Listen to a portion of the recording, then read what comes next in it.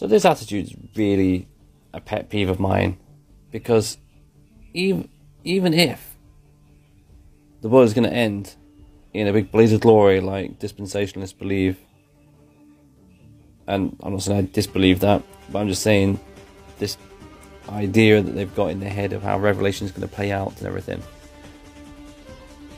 Even if that's going to happen, there's no guarantee that's going to happen now, next year, 10 years from now.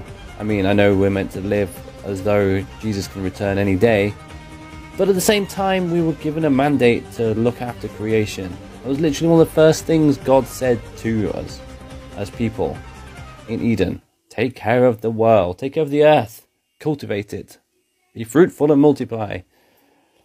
We've done the latter part, we've been fruitful, we have multiplied to the point that we are breaking the place because we are not doing the first part of looking after the planet.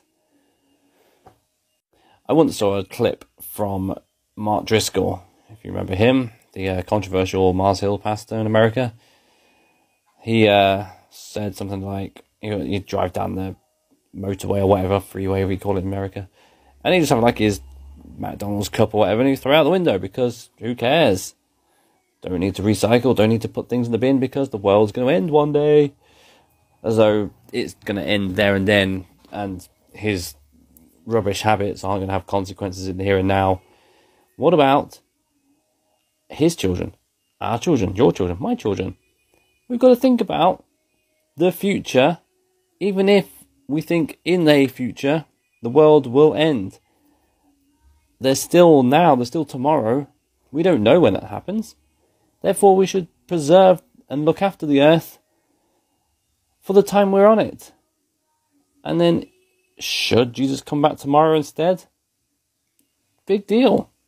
We've done our God given mandate of looking after and caring for the planet we live on, i.e., God's creation. I mean, what is a better thing to look after than the literal creation of God that you're meant to worship?